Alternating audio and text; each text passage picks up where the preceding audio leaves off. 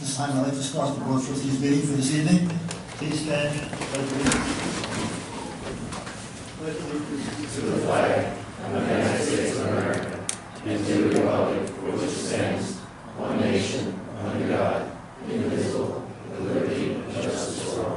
Please remain standing for a moment of silence. Honor our fallen servicemen and women.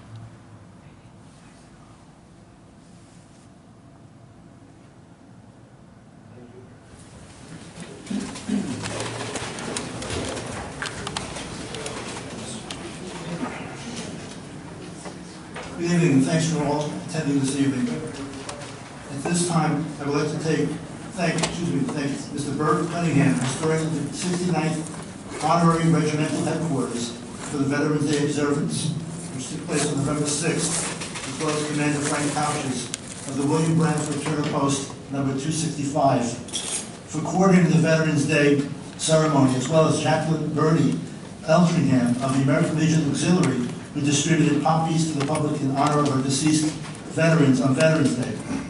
I was happy to hear that so many residents were able to attend. Since there has been some recent discussion about the leaf disposal procedures of the village, I'd like to address this matter. The street department began its leaf collection, and you can check the village website and Facebook page for updates as to when they will pick up leaves in your area of town. Uh, The Parks Department does the leaf removal in the central section, supplemented by recreation uh, maintenance help, which typically has four crews doing leaf pickup each day. Residents should place only leaves and old plant material, uh, me, only leaves in the street. Other items such as sticks uh, and old plant material may damage machinery and slow down the operation of the leaf pickup. Uh, Avoid parking cars over leaves as this slows the operation considerably, not to mention that it's also a fire hazard. Do not place leaves on medians and walls as this will kill or damage the grass. Please do not obscure fire hydrants by piling leaves around them. To clarify some of the confusion, landscapers can place leaves in the street from properties worked upon up until the time the village stops collecting leaves, which is usually in early December. Contractors cannot dump leaves from the trucks onto the street. I would also now like to announce the formation of the St. Paul's Committee. The chairman of the committee will be ex-mayor Brian Devaney, and ex-village administrator Bob Schoelle will be the vice chairman of this committee. Uh, The list of all the resident volunteers and subcommittees will be published on the village website and on, in the mayor's column. I thank all the residents who have volunteered to invest the future of St. Paul's main building. I now call upon the department heads, beginning with Commissioner Jackson. Thank you, Mayor. Um, I have nothing on the agenda, but I want to bring up a couple items. First, uh, we are collecting toys for tots, so we already have one full box. Uh, We have uh, two- a few more boxes left, and also Village Hall. So if you have any uh, toys, please bring them unwrapped to the Police Department of Village Hall, and we will forward it to the Marine, uh, to the Marines. Also, um, last week, there were, there were two burglaries uh, in the village. Uh, There is a Nassau County pattern, it started on the North Shore, it's actually, uh, yet last night, it uh, was all the way down, the same pattern, all the way down to Massapequa. So, part of this pattern is uh, very simple things we can do to uh, try to avoid being a victim. First thing is, six o'clock at night, when you leave your house and it's dark, not too many houses are dark at six o'clock, so it is an invitation. Please, leave your lights on, have the TV on, radio on, make it always look like there's someone there. Uh, a lot of people, when they leave their house, uh, just for a short ride to pick up something, sometimes they won't put their alarm on, they, they'll leave the door open. Please, this is all part of the pattern. Um, so, uh, this, these crews work quick, uh, and they really want to avoid confrontation if they can. So, uh, to help us out, again, if anybody sees anything suspicious, sees something on their ring cameras, uh, have a plate number for us. We're getting more calls since these incidents, as well as uh, some other areas in the county. Uh, And we are working with the burglary pattern team of Nassau County Police Department to put all our evidence together and, and get these suspects. So uh, please just take due care uh, at that time. Uh, We're, we're looking at 5:30 to about 8:39. That seems to be the sweet spot for them. And because most people do have lights on, at they're home, they're gonna be, they're gonna be awake and they're gonna have lights on. So they, if they see darkness, that's when they take a chance. And a lot of times they'll ring the doorbell first, and then go right to the back. Most of the hits in the county have been back, back door, back windows. So please, uh, uh, it, it will help us, and, uh, people have been great the last couple of days, been calling in suspicious cars, and, uh, we have checked everyone out. Thank you for the information, really appreciate it. Um, Next will be Chief Malik.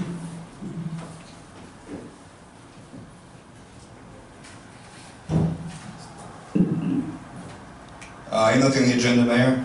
Um, I just want to ensure everyone uh, uses a little more caution on Thanksgiving next week. Uh, Thanksgiving is one of the biggest days of the year for accidental cooking-related fires. Um, with that being said, I hope everyone has a happy and safe Thanksgiving, and you don't need the fire department on Thursday for your burnt turkey. That's all I have, Mayor. Thank you, Chief, thanks. Um, Next, Village Treasurer Irene Wu. Uh, Good evening, Mayor and trustees. Um, On the agenda tonight, there's only one item, it's a transfer of funds requested by uh, Village Administrator, Mr. Suozzi, and he will cover this transfer um, in his update. That's it?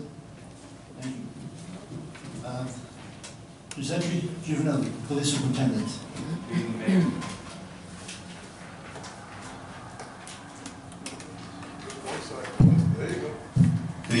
Board of Trustees. I also have nothing on the agenda this evening, but um, if the board has any comments, questions, that I can be happy to answer. Thank you. Thank you. How are you? Thank you, all well. Good evening, everyone. Uh, Mayor, uh, I have no single item on from uh, my office. However, I will be asking the board for a resolution to suspend the rules in order to add four resolutions. Um, Back on October 21st, this board authorized the making of certain grant applications in connection with uh, establishing equipment for cleaning of the 1,4-dioxane at various wells. Not all of the wells were covered at that time, so we would ask the board to pass essentially the identical resolutions uh, this evening, but to cover additional locations. One at the uh, well numbers, uh, plant number seven, one at the country club, one at wells numbers 15 and 16, and the last at uh, well, uh, plant number nine. So these uh, resolutions authorize H2M using Mr. Suozzi as the signator on the grant applications to apply to the federal government for a part of the three billion dollars in clean water funds that are made available under uh, the federal uh, budget. And we don't know how much exactly we'll get, but apparently up to about sixty percent of net permitted costs are potentially reimbursable under this fund. So if it, uh, if it meets with the pleasure of the board, I will ask that those uh, four items be ended by a suspension of the rules in addition to the consent calendar. Uh, Moved uh, by seconded, any discussion? All those in favor? So the four resolutions are added to the consent calendar. Thank you. Peter. Um, Last, Mr. Thank you, Mayor. Good evening, board, members of the public. Um, Mayor, the first item, uh, Mrs. Wu passed off to me was the transfer of funds. This item is requested to transfer unused funds from the engineering regular salary into contractual services to fund additional on-call GIS services. Uh, Just for the public, GIS is a geographic information system that creates, manages, analyzes, and maps all types of data. GIS connects data to a map integrating location data, where things are, with all types of descriptive information, what things are like there.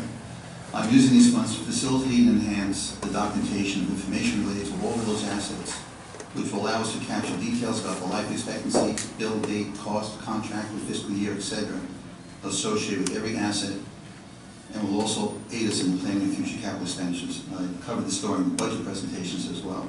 This data will be integrated into the information layers of our AutoCAD, also known as computer-aided design software used by the engineering department. Under Public Works, item number five, um, every year we look to uh, bring Pratt Brothers on using their competitively bid rates with Nassau Community College uh, to have them on standby during heavy snows, so to assist uh, Department of Public Works, uh, so they can help us clear parking lots. So we only need them, we only call them when we need them, and uh, like I said, the rates are competitively bid.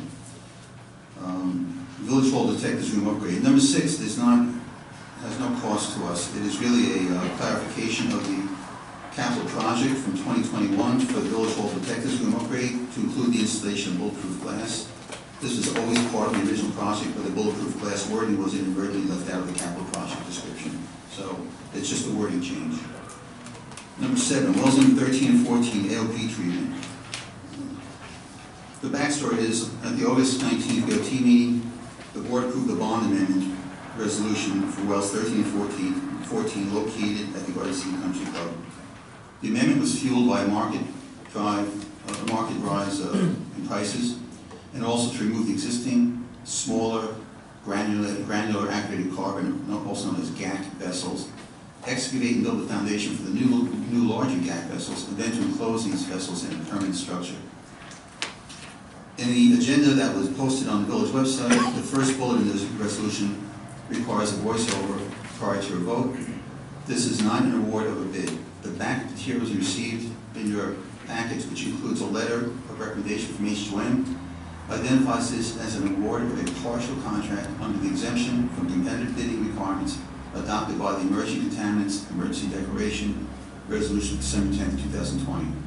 The agenda item this evening is asking for board authorization, at the recommendation of H2M, to award the partial contract for the excavation and construction of a concrete foundation at Country Club Plant Wells 13 and 14 in the amount of $513,000 to Philip Ross Industry, also known as PRI.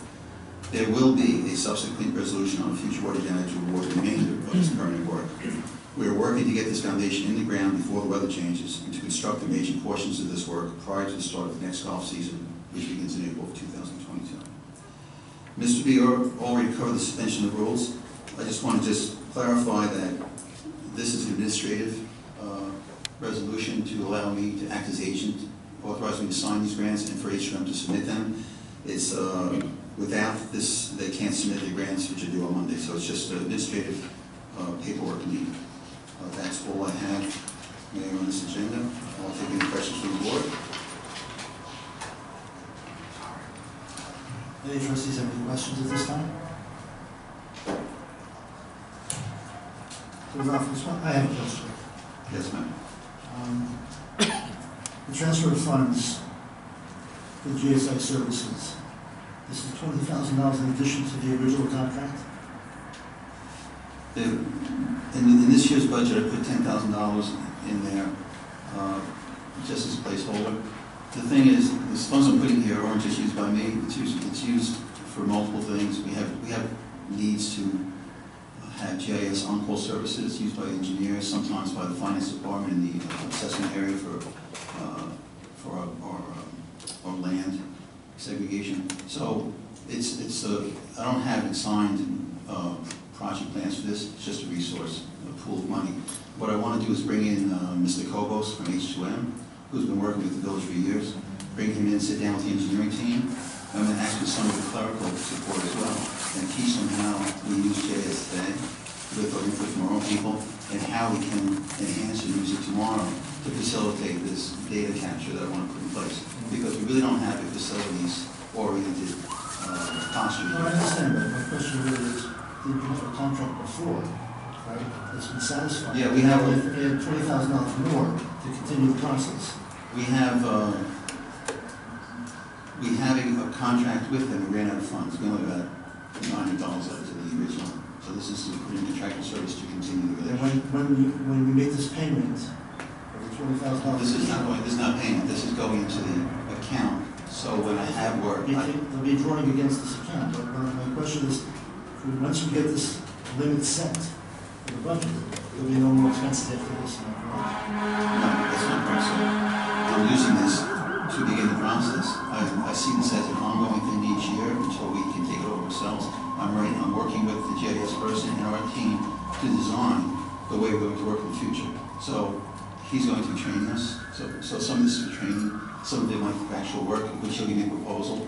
So I don't, I don't know if I'll need all this or if I'll need more, but we have, it, this is, this is part of the strategy, it's a new strategy. But it's not, it's not open-ended, I'm just, you know, I don't want to. no, it's, nothing's open-ended. Anyone else?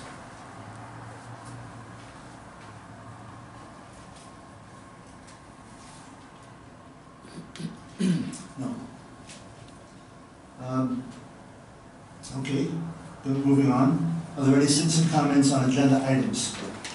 If you do have any comments, please state your name and address and come up to the podium, please. This is for agenda items. Anyone on Zoom? Bob Oros. Okay.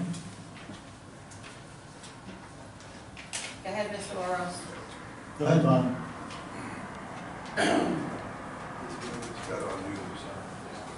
Please unmute. Can you run the other? Ask me to.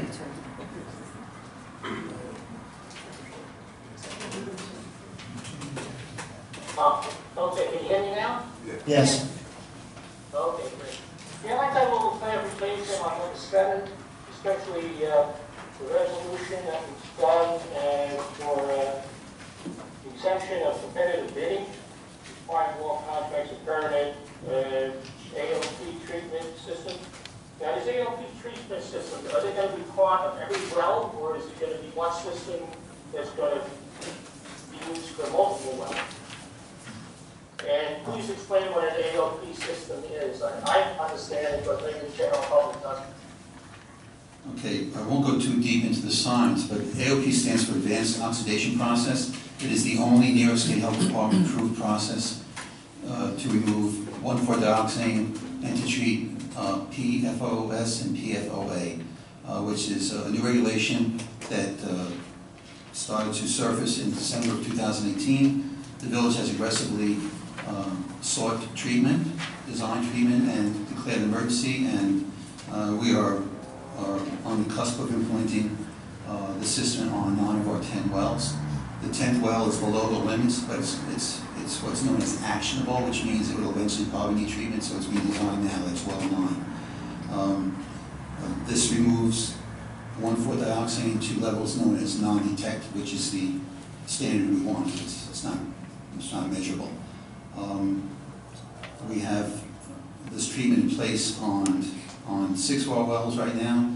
Um, Like I said, nine is being designed, Um, 15, 16 is under construction, eight and 12 are being tested right now, seven is online, 11 is authorized work, we took it offline to do some other upgrades. So it's, uh, it's, uh, every well in the village, all 10 wells, will have the treatment. We only operate nine at a time. Um, 15 and 16 can only operate one at a time because they're too close to each other. So we have 10 wells being treated, and uh, it's not a portable unit, it's actually a reactor that's probably in a, uh, a 20 by 15 size uh, building, uh, one story high. Uh, The water is, the water is taken out of the well. It's, we always test raw samples, whatever the protocols are by the health department. It is uh, hydrogen peroxide, also known as H2O2, is added to the water. It is then passed through this AOP reactor, which is built by one company in Canada, Trojan, the other one authorized and supplies this equipment in New York State. And uh, it burns off the the dioxane, and then the GAC filters uh, remove the peroxide, returning back to the H2O that we then treat with uh, uh, chlorine, caustic soda for pH, and we ship out into the distribution system. Now, but, but what's, uh, you say that this, each individual well has an individual system. Is that what you're saying? Each well has its own AOP reactor, yes. Okay. And Except, I'm sorry, except for 15, 15, 16 has one reactor, it's only one well can run at a time.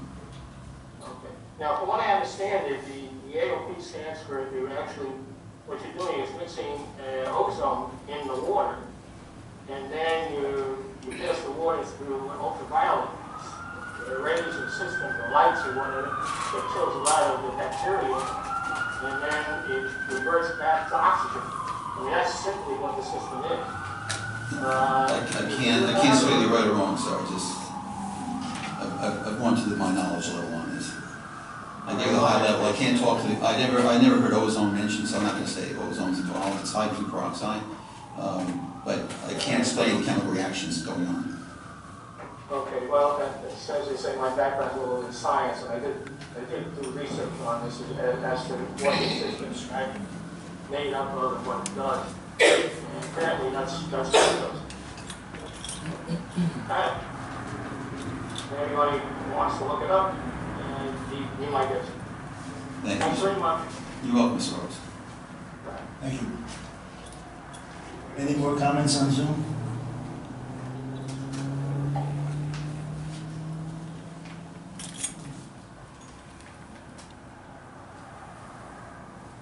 Anybody waving their hands?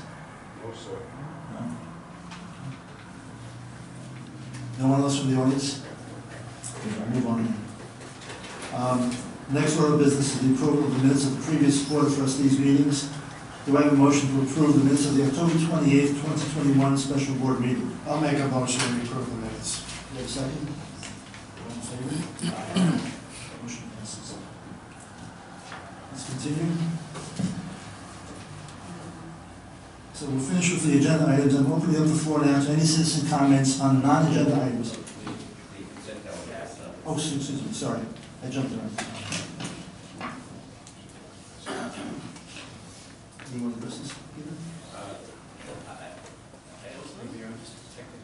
Turn your mic on, please. I don't think we did, uh, the November fourth, did we? We did No, the. October twenty-eighth, but did we do the November fourth too? No, no, we didn't. Right. I, I think we have to approve the November fourth, the regular meeting minutes as well. Now, There were two sets of ma- minutes there, Mayor. We have, oh, we didn't start, and we have October twenty-eighth. So November twenty-fourth as well? November November fourth, the last, the last meeting. The regular meeting minutes of November fourth. And, and while I'm at it, I'll move that as well. And I'll second. We're combining both of them? I believe the motion to approve the minutes of November 4 has been made and seconded. Any discussion on that motion? Hearing none, all those in favor signify by saying aye. Yeah, is that Motion. Now we move on to the consent calendar, correct? Yes, sir. I believe that uh, the mayor indicated that one item, I don't have the agenda any longer in front of me, uh, but the item number is number eight under external communications. Uh, To the extent that that appears to be on the consent calendar, I believe that is being removed from the consent calendar, uh, with the exception of, and however, the permits uh, would remain on, would remain on, so item nine and 10 would continue on the consent calendar absent a trustee asking for the removal. Uh, But with the exception of item eight and inclusive of the four resolutions relating to the grant application, is there a motion to approve the consent calendar? Moved by trustee Delaney, seconded by trustee Menudo, and uh, trustee Foley as well. Any discussion on that motion? Hearing none, all those in favor signify by saying aye. Aye. And the motion for the consent calendar passes unanimously. Now we'll move on to the non-agenda items. Um, The, the, yeah, absolutely may do so, Mayor. Um, However, ordinarily, at this time, you would address the one item that was removed from the consent calendar and determine whether you wish to have a discussion on it, remove it from the calendar Other altogether. trustees wish to discuss that item that was removed from the consent calendar?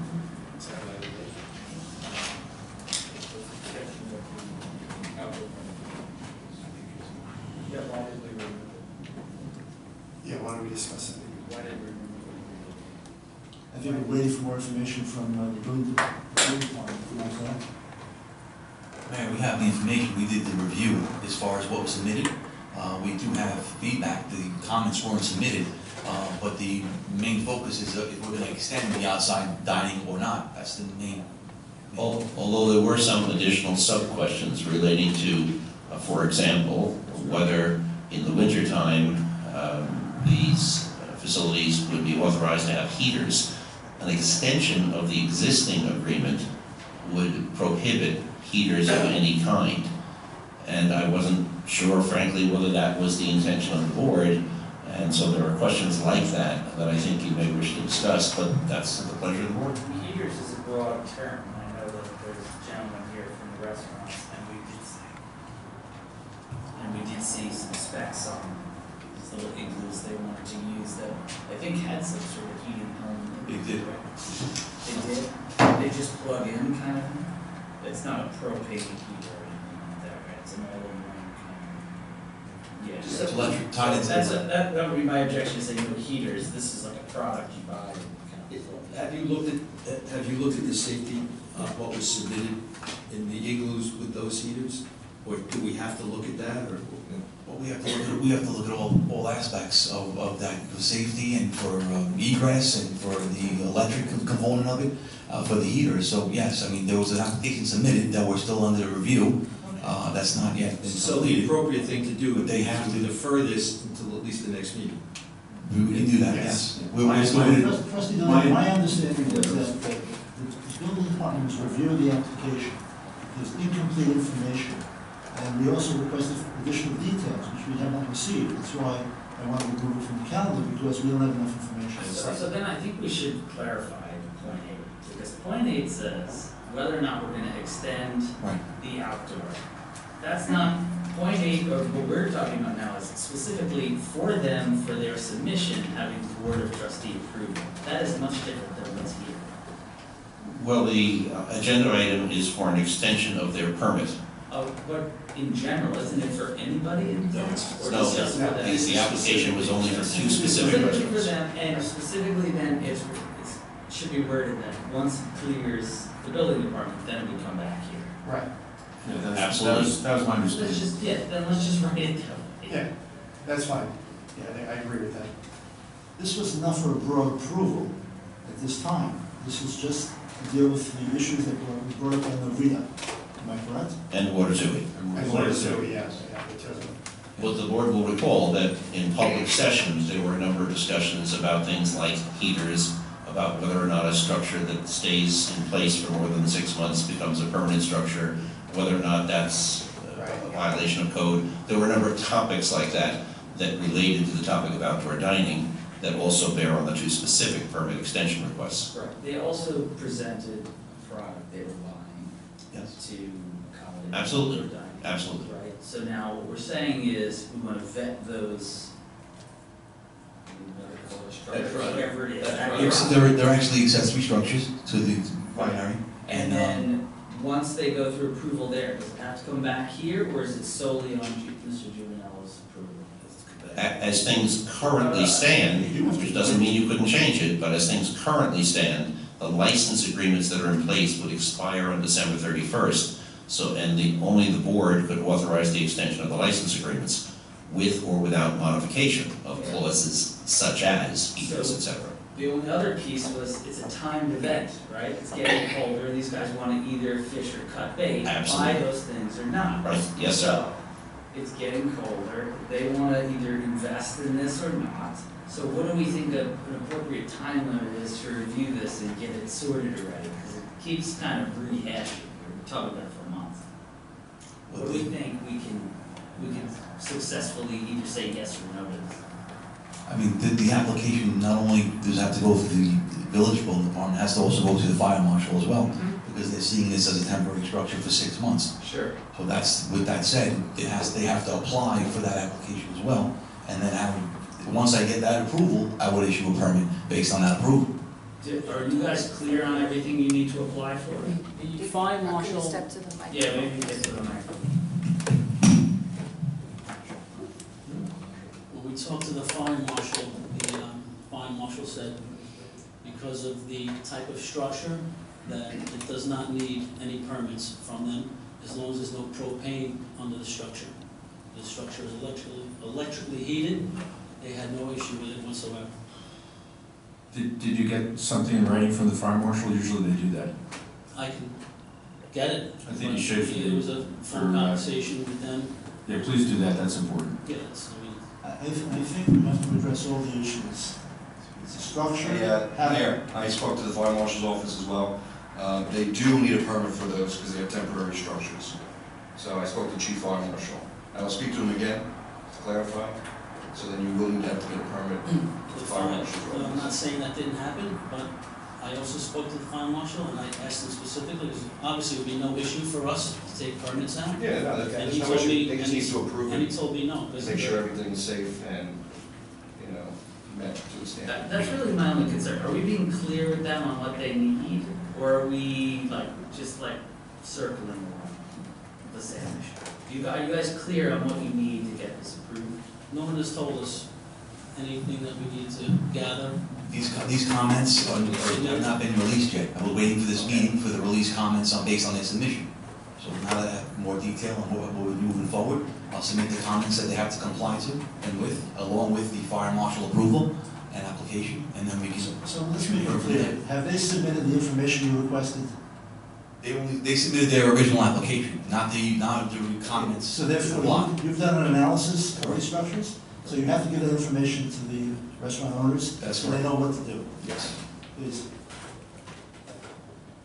Right, thank you. In addition, at whatever point you make a decision on it, the license agreement has to be executed, and I just need to know what terms to put into that license agreement. How long is it gonna be? Are we lifting the uh, requirement of no heaters? That there are a series of questions along those lines. So let me ask the fellow board members, provided these guys clear these hurdles, is everyone even in favor of this, or are we gonna make them jump through hoops and then tell them they can't do it? We just gotta get real about I I don't think it's jumping through hoops, they have to get, you know, uh, something in writing from fire marshal, Sure, right? so they go through that So I think if I they could- come back, are we Let me, let me finish if I may. Yeah, So I think you're gonna spell out from them everything they need, so they're clear, and then they're gonna get the back from, for us, right? And then we take it from there. Yes. I So, think to Lewis's Taking point, from there, it's very, I mean, these guys are trying to run a business. We could probably indicate to them if it's likely to pass or not, should they satisfy all said requirements, yes? I think if they, s- you know, uh, satisfy the requirements of the fire marshal and what we're asking for, um, then I think, we- you know. would be in agreement with that. I just don't wanna let these guys hanging, they're trying to run a business. They wanna know whether or not to spend, how much of these things cost, fifty grand or something? Forty thousand. So, you know what I mean? So I just wanna know if you, they get through it, and, and believe me, I'm a believer in the process of needing to get the required, uh, you know, approvals. But if they're going to get those approvals and they come back and say, we're not, we're not, uh, you know, gonna pass outdoor dining anyway, we sent them on a wild goose chase. I just wanna make sure that, you know, provided they do everything they're supposed to, there's a light at the end of the tunnel for them. Sounds like there might be, so I'm happy. We, we need approval from the Department of Buildings Sure. that the structures are safe. Right? Zoning has to review it, you have to review it, fire department has to review it. When all those rev- reviews are done, and we pass muster, that information comes to the board, the board will decide. It's fine. Mayor, I just, I just I'm certainly in favor of it. My only concern is that it's for another year. I mean, is everybody? That's, that's gonna be discussed too, trustee Delaney, it may not be for a year. Fine, okay, that, that's fine. And don't that's- forget, there's a law that says the I agree temporary with you. structure is only allowed to be up for six months. I agree with you, Mayor. I, I just, I have a Let's not go problem. back to what I we did agree. before, please. I, I agree with you hundred percent. My second question is, as I read this, this only affects Novita and Waterzooi. Are there other applicants who want to extend past December thirty-first? I know they can't answer that question. No. but, None that have been drawn we to our haven't gotten attention. anybody You haven't got anybody else? No. Okay, fine. This is the only one in town we really This just. is the only application. Okay, that's fine. It's the only application I received. So you do the research, gather everything together, you respond, get information to the board, then we can act on it. Thank you. So do you want to table this to the next meeting? Absolutely. Okay. Thank you. Any other comments? Any other discussion? We'll move on to the non-agenda items. Yes, correct. The- All the agenda items are now disposed. We're discussing, non-agenda items only, so if anybody in the audience wants, wants to come up and discuss a non-agenda item, please state your name and address. Anybody in the audience?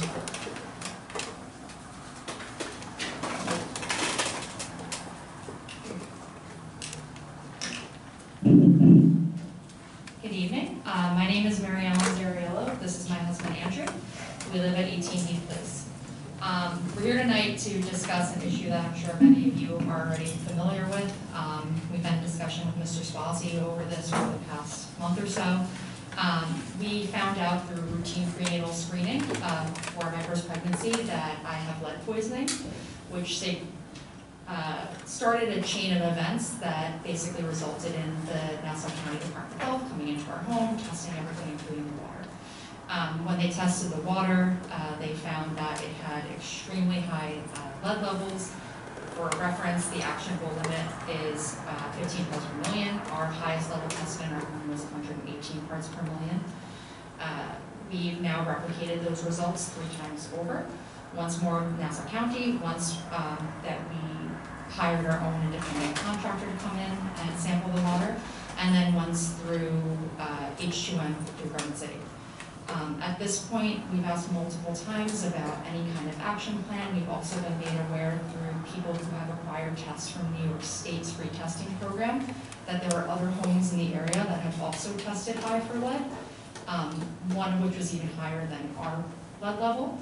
Um, my, even anecdotally, my parents live in the estate section. Um, my mom, uh, when we found out about my lead level, started avoiding tap water. Um, and after three weeks of avoiding it, she went and had her plasma lead sample tested, so that's from her own blood. Um, and she had borderline lead poisoning as well. They do not have a lead service line, there's no lead in the home. I guess our question is, is there a plan to discuss this with residents? Um, we still have not identified a cause. Um, from the research that we've done, the conversations that we've had with various water specialists, uh, the best guess that we have is that it could be something to do with water treatment. Um, so I guess we're here tonight just to ask if any headway has been made, if there have been any updates. The last discussion that we had was that the wells had been tested, that they were negative. Um, but that's a very small component of a much larger problem. Um, so we're just looking for updates here. Ralph, do you want to address this, or? Yes. Just to continue, uh, Andrew, it- it was at the meeting, the EPOA meeting, and as a result of his comments to me, which I passed on to Ralph, um, and Ralph will go into greater detail, um, Ralph, why don't you? Yes, so, first of all, I, I did speak to your mother on October twentieth, I think it was. uh, um, It was the first information the village or myself had received on this topic. I spoke to, uh, is it Smith, is it? I forgot her last name, her last name, but she. Griffith, that's, Mrs. Griffith, she called me, we spoke for a half hour. She explained to me, uh, very specifically, in greater detail, what her daughter Mary Ellen just, uh, Mrs. Ariello just explained. Um, I listened intently, and then she was repeating herself, I said, uh, Mrs. Griffith, I have to get off the phone, I need to call the health, town health department, I need to jump into action. So she gave me the contact name, I immediately called them when I hung up. My next call was H2M. I asked them to test all of our active wells, because some of our wells are offline. All of our active wells, where the water enters into the distribution system, which is the mains on the ground, it comes into people's taps eventually. I, it was tested the next morning, starting at eight o'clock, less than twenty-four hours after the phone call. Those tests came back with lead at non-detect.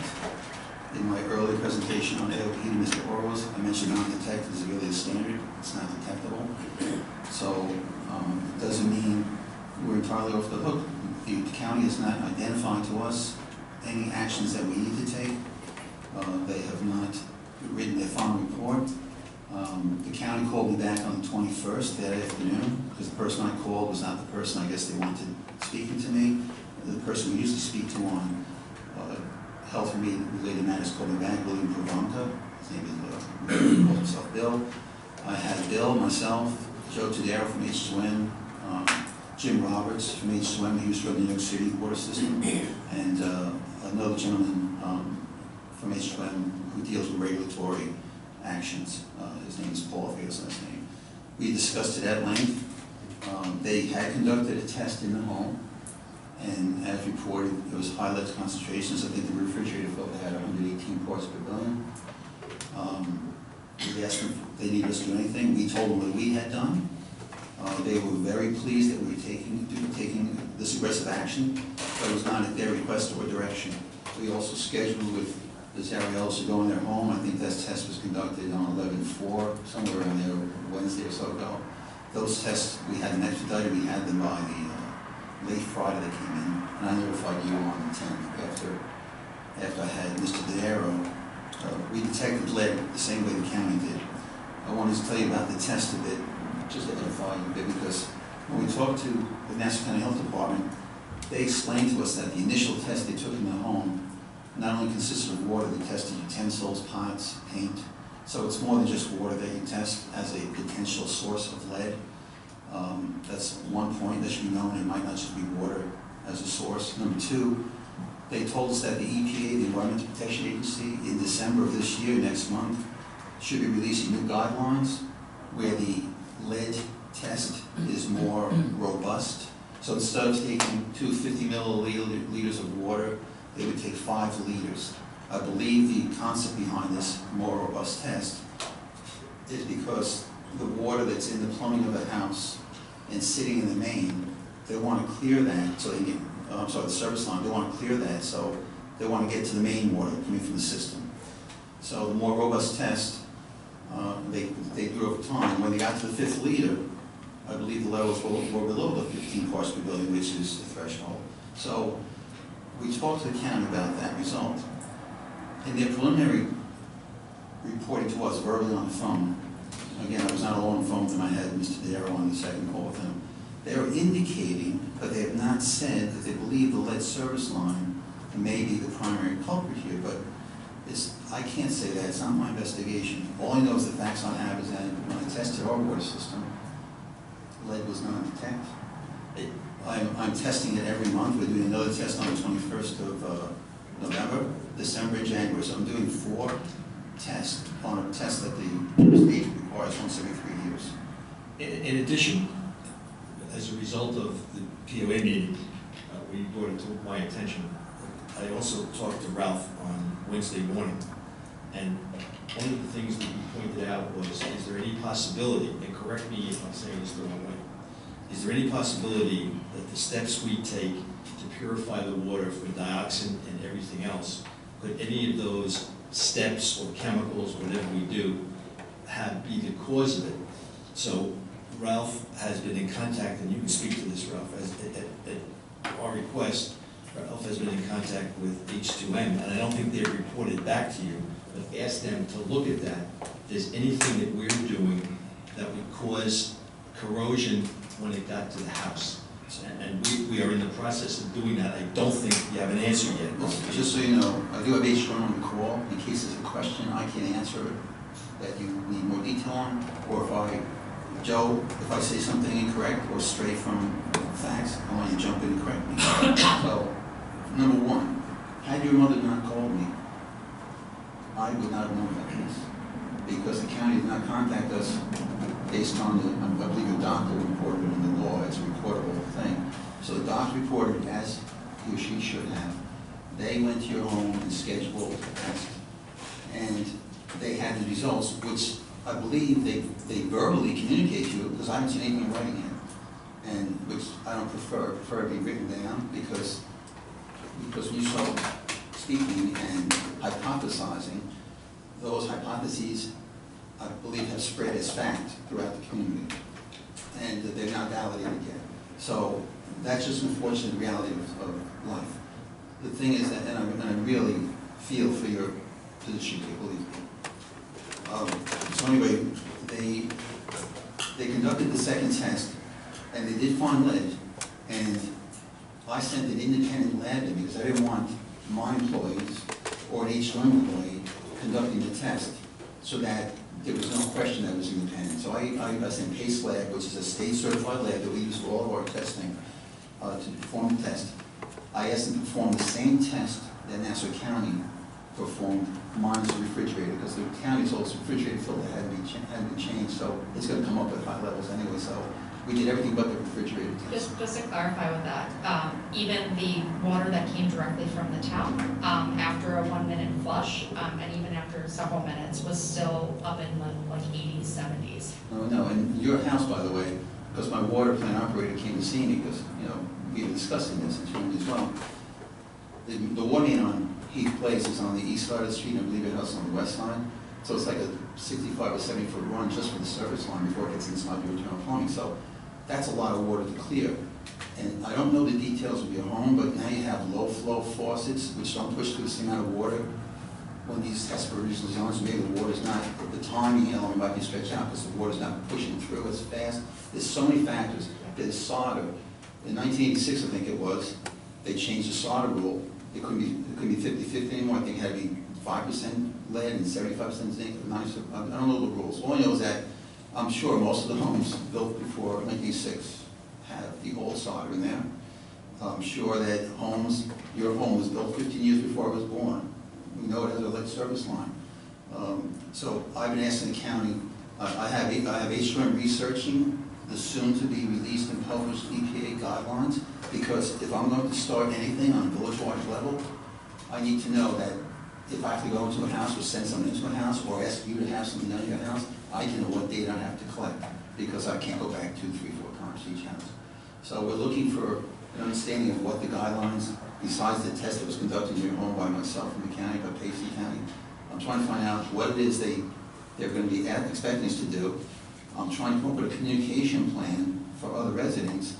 Uh, you know, in our annual report every May, there's a section there from New York State that says, you know, lead service lines contribute lead to the water, it's not safe, blah, blah, blah.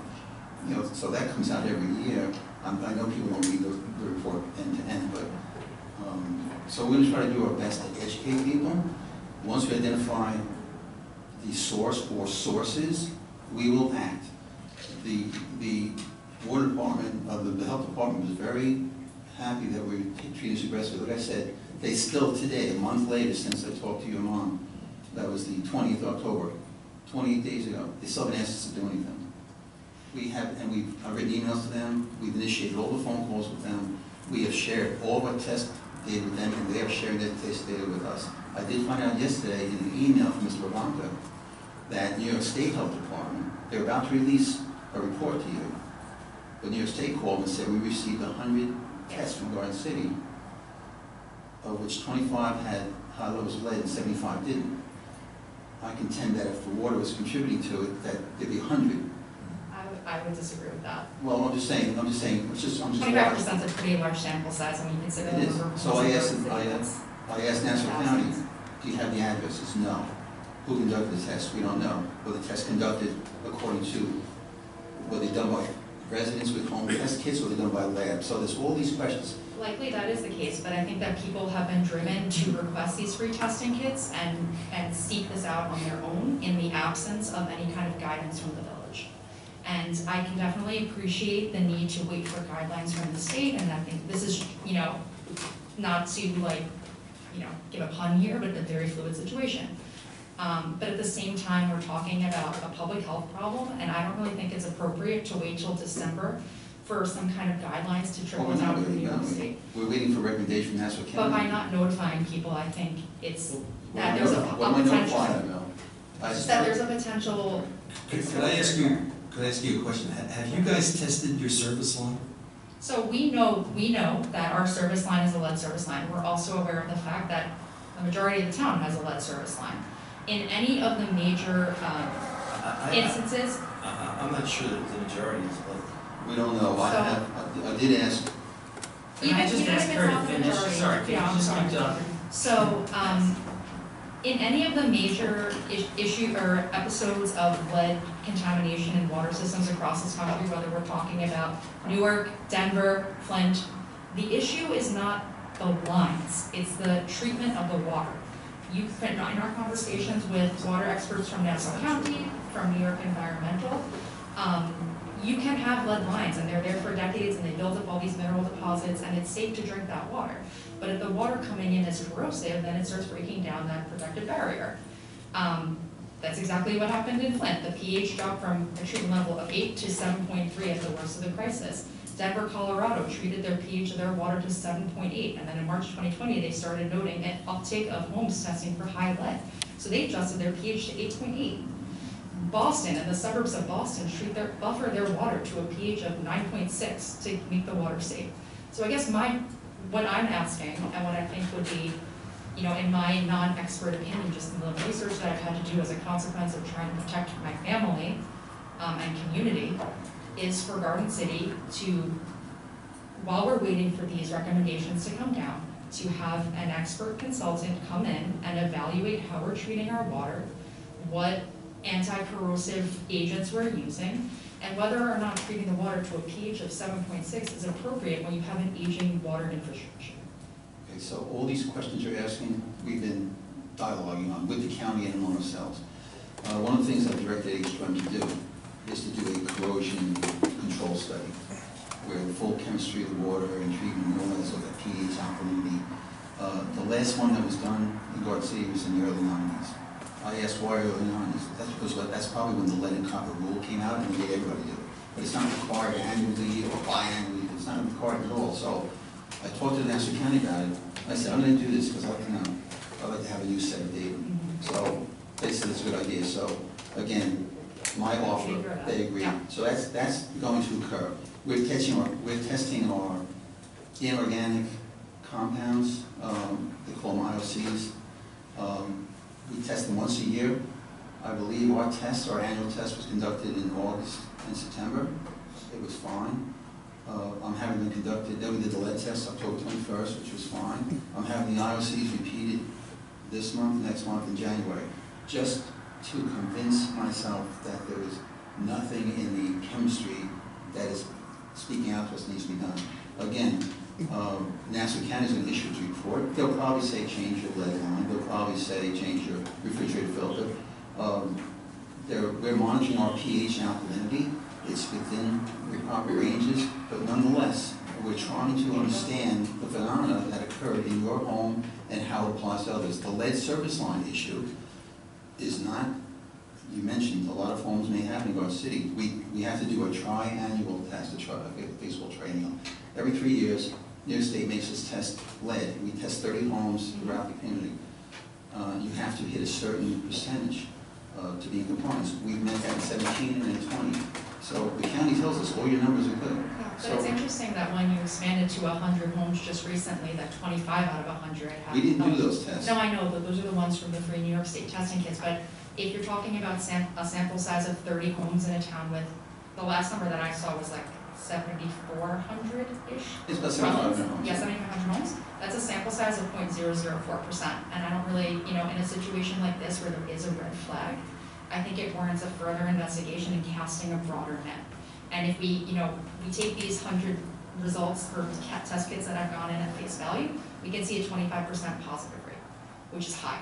That's definitely significant, twenty-five percent of seventy-five hundred. So the state, the state has That's a lot of information, the state has information, the county received it yesterday afternoon, just after my phone call to them, they sent it to us, I sent it to H2M, I said, okay, now we have the information that has been gathered somewhere in the village from residents, we don't know how it was gathered, what was done, but it's pointing to this three, one thing. I said, so I asked the county for information, I said, I don't even know, I can't even contact these people to talk to them and see, you know, what, you know, so, like, I want to you know that, so we're not sitting idle waiting for the county. We acted on our own to test the water, we made it a point to go into your home, we're having H2M investigate the new guidelines, we can act on them before they even release.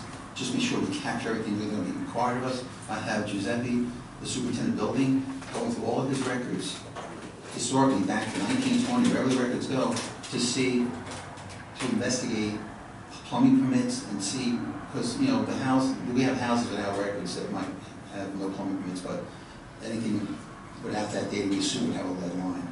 Uh, if your house is built before nineteen seventy, you might have a lead line. I don't know the thresholds. All I know is that I think everyone who's worried about the lead service line, Uh, I recommend they have the plumber come in and check it. We're trying to figure out what communication, I've asked the county, how do you communicate this to a, a person like yourselves, or to a community or to a neighborhood? How do you communicate this so that, you know, I don't want to create a panic, the sky's falling. I think you should though. At a certain point, we have to stop screwing around. This is so I, I, to be honest, I don't believe there's a single, single bigger issue in the town. More and more contaminants and, things are being discovered in everyone's drinking water on Long Island every day. They rush, you know, we get guidance to rush to treat them. As, as these guys are saying, there could be downstream effects to that. And I've said this before, I know everyone throws a shoe at me when I say it, we should be selling our water system to experts who know what to do and know how to deal with these problems. And all you guys yawn and roll your eyes, but we are outmatched, okay? My wife, it's no secret, she has cancer, forty-five, stage four cancer, for no reason whatsoever. Colleen deals with the same, similar issue for no reason whatsoever. So, what, what should we be doing? Yeah, say, hey, we've got some high, uh, lead levels. Maybe you guys should contact your plumber. If you suspect it, get a home kit, check it.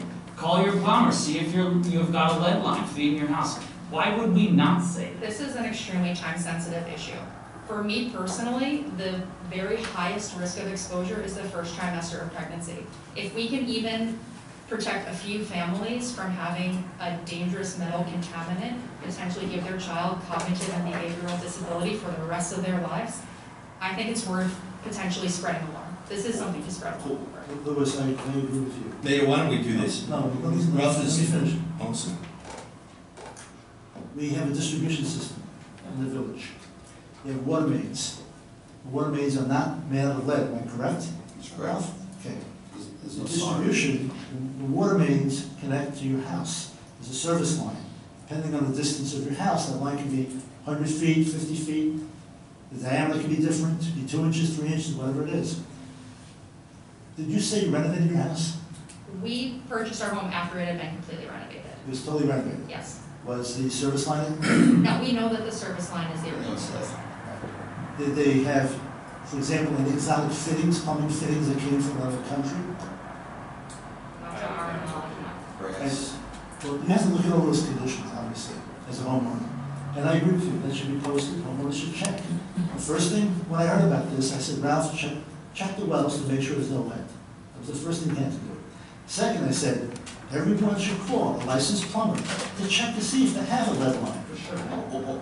Right? We should check- recommend- Just check it, and if you do have one, then you should make some arrangements to remove that lead line, right? And then provide also a house in addition to it. Once you make the change, provide a house filter, you get rid of other contamination. I, I get, I get it, obviously I agree. I just don't think we, we all can put a finger on exactly where even this is coming from. And I understand we say, yeah, there's a lead supply line to the house, I get it.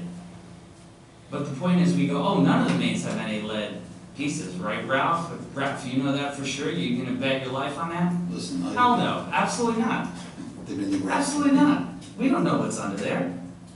I, And the, my point is, is that, again, we keep the state, we all know, we all it. The state re- basically crammed the, the, the, the, one four dioxane mitigation down everyone's throat before we even said, hey, what's one four dioxane? Remember, five years ago, no one even knew what that was, and it's in everything, okay? It's in Tide, it's in your shampoo, it's in everything, right? So we, we, we got the, uh, the, the UV lights, we're pumping in the, the hydrogen peroxide.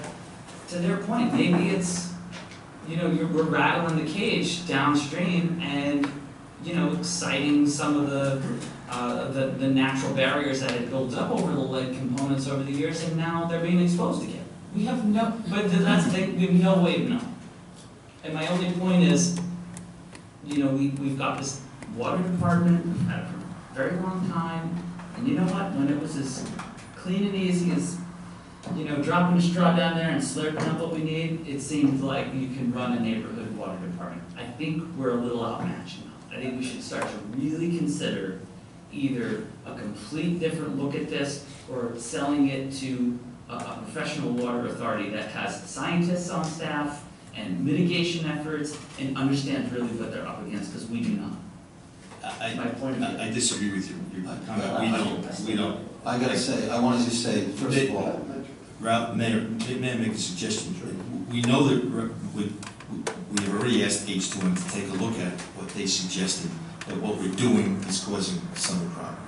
In the interim, why don't we put a flyer out to everybody, just outlining this, so that everybody in the village knows officially from us that we suggest Put it on the village website. And the village website, and in your, co- in your mayor's column, and let everybody get tested. I also, did get a free kit, That- that- people need to be That'll told help how to I test. think we need, I Can't think be we need coming a- from me on possibly an Facebook. expert consultant, Yeah, right? An expert We need consultant, something. before, before we make the leap and sell our water system to someone else. well, believe me, I Let's think have a that- real expert. I'd be, I'd be opening the door for anyone who wants to come in and buy it, but I just want, I just want to state, trust me, Lou, not to argue, but our operation is putting out a good product. We meet all the standards.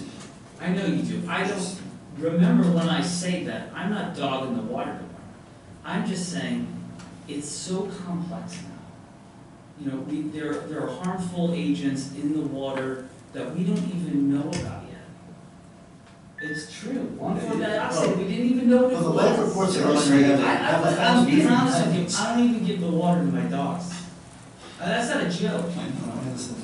There are, So- there are unregulated things. I mean, the water report talks about things that are regulated, and things that are unregulated. The EPA regulates some things, and the New York State takes, like dioxane. They don't have a standard. New York still State an standard. outlawed usage of it, haven't they? They're still allowed to. New York State still standard. And Shanford, it's still all legal. No, so dioxane in New York State is one part per billion. In, in Alaska, it's seventy parts per billion. In Pennsylvania, it's six parts per billion. Connecticut, seven parts per billion. New Jersey, it's one. You know, so it's like, it's all over. The EPA does not, And that's my point, is that it's, it's so complex. I'm not criticizing, I know you do everything that New York State wants us to do, and then some. and that's something. My point is, at what point do we just say, the operation of this and the cause and effect is just too great, and we need outside help? We, we, you know, this can't be Ralph's part-time gig, is to run water. It's getting a little nutty now. And, you know, it's, it, you, you hear stories like this, this freaks me out. And, you know, we talk about, you know, how, how our property values are, are affected by this or by that, or how about if, if you can't drink the darn water? Can't brush your I teeth in think the we water. gotta, yeah, I think I'm we not, gotta I'm get not, I'm not on. sure it's, I'm not sure it's a treatment issue at this point. You, you shouldn't, you shouldn't. No, no, no, Such a big matter. listen, but we don't know. We don't know. We don't know if it's the lines, we don't know if it's treatment, I don't know if, you know, there's a, a big lead ball stuck there somewhere from the Civil War, I have no idea what it's called, it needs to. So we, so we get a consultant to come in and investigate this whole thing. We have It's H2M. We've I know we have H2M. We've already started, we've already started. I know we have H two M, Maybe add to that and other process. And outside. to your point, Bruce, maybe it's we come up with a, a framework where we say, all right, every, we're gonna go around and check all supply lines. Or by a certain date, you've gotta figure out whether or not you've got a, you've got a supply line that has lead. Or, you know, again, I'm just conceptualizing because I'm not a water expert, but we need, we need a plan and we have to start being proactive. If I may add one more thing, in the same spirit of not having H2M test the water in our home, having an independent company, I do think in the sake of transparency and not having a conflict of interest, that it, I think it would make everybody feel better if it were a completely independent consultant to come in and do the testing, And say what you mean, not H two M. not H2M, yes. So, I mean, just one thing that here more immediately, do we all agree to just put out a public service announcement about lead in water, encouraging people, it's in our water report anyway, that people should be, but, you know, let's highlight it because we have this I think what information right might now. be very helpful is either in the mayor's column, obviously on the website, but also put where people can get that free New York State kit in there. And, and then if people read this in the paper and they wanna check it out, that, that they could do so easily, we can help them do that.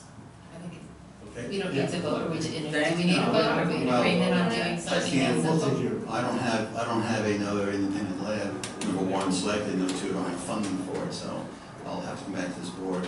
But that's not till December ninth, so do you want, do you want to authorize me Even to? for the free kits, the No, York the kits. I'll, I'll contact, Plenty of Those are it. easy enough. I mean, they're recommending we have someone independent outside of our own H2M consultant, so you're talking about hiring another. No, no, no, No, no, they didn't say that. Their, their independent consultant is to analyze our whole situation.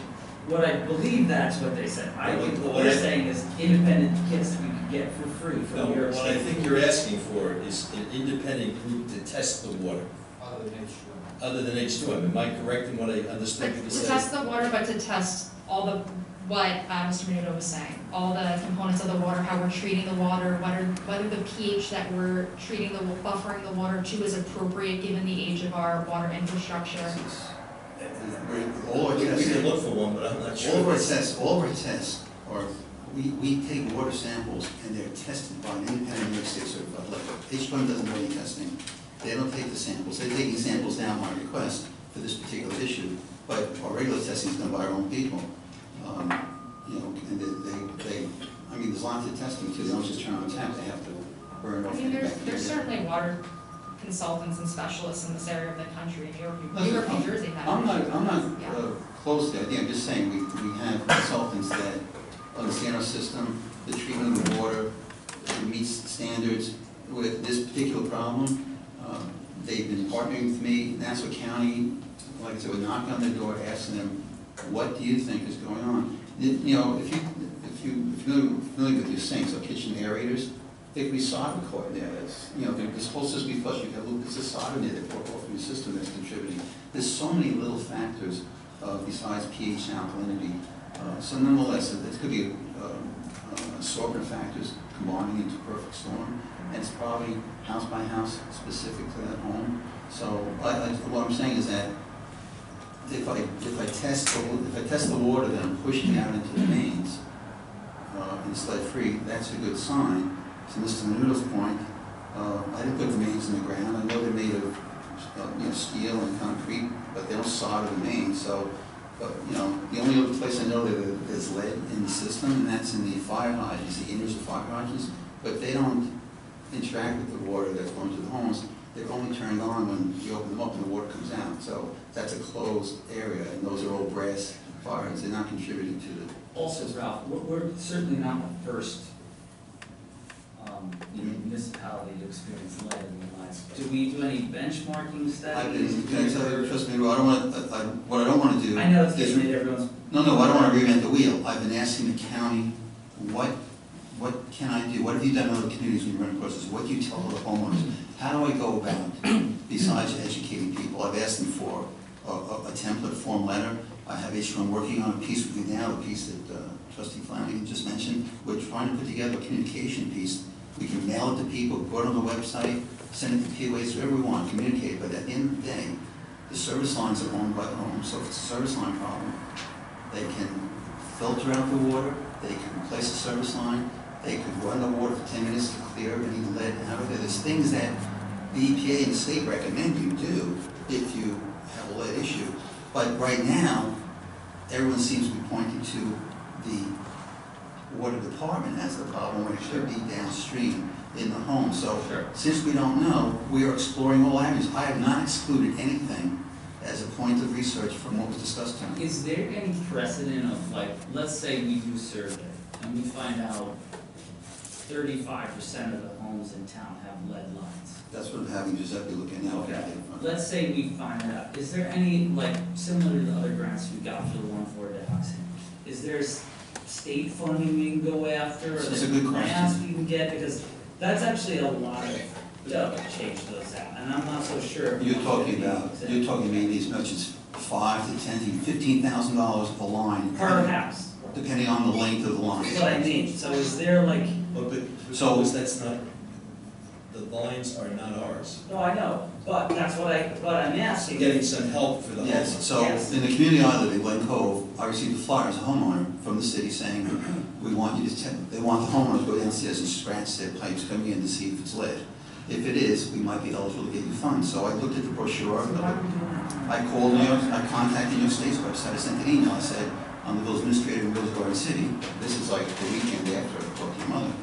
I said, um, I want to do this for my community, are funding available? The guy wrote back on Monday, there's no funds available. So that was a dead end. But now I'm looking to this uh, big infrastructure grant that the president put out. Are, in this, in this new thing, are there funds for communities? I asked each one to look for that. You know, it's not, it's not like you pick up the phone and say, I need fifty million dollars. You know, this is a a multi-million dollar project for you to do it. If individual homeowners do it, it be quite expensive. Um, Like I said, it might be, if, if you have a lead line, you can't afford to change it, which might be the case for someone with a seventy-foot lead service line. Maybe an in-house filter system is the solution to, to solve that problem at that location. I'm not recommending them, just saying that there might be multiple ways to attack the problem on a, on an individual home basis and community strategy, but unless we're going to, and we're assuming that the lead line is the full contributor. I don't think the county knows that, I talked to them yesterday. I, I think that part of your homework, which is considerable already, should be at, what are our options as homeowners to, for mitigation of that? Is there a filter you can buy?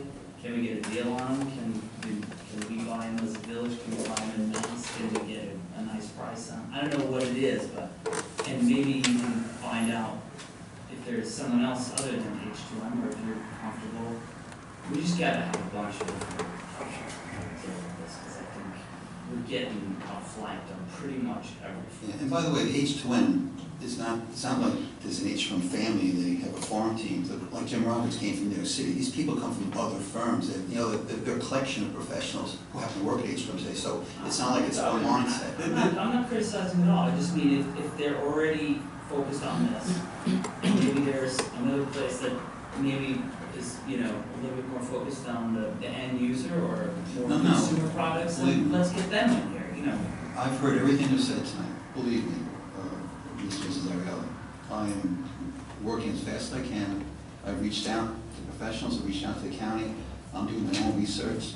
I took everything in Mother Word and said verbatim, took it as absolute truth on good faith, even though I had not heard that from the county yet. Uh, I am anxious to see what they say, because they told me, they told me there's no lead in your paint, in your pots, and utensils. We talked extensively about this. Um, and, um, so, I know we're not at the end of the story yet. Uh, I will get a communication piece out to people to alert them to this danger, uh, even though it's been out there in literature before and available to people. I will make sure that, and I talked to you about this last night, Mayor. I, I, I- spoke to the mayor last night because we had a fire safety committee uh, meeting, which went very well, I thought.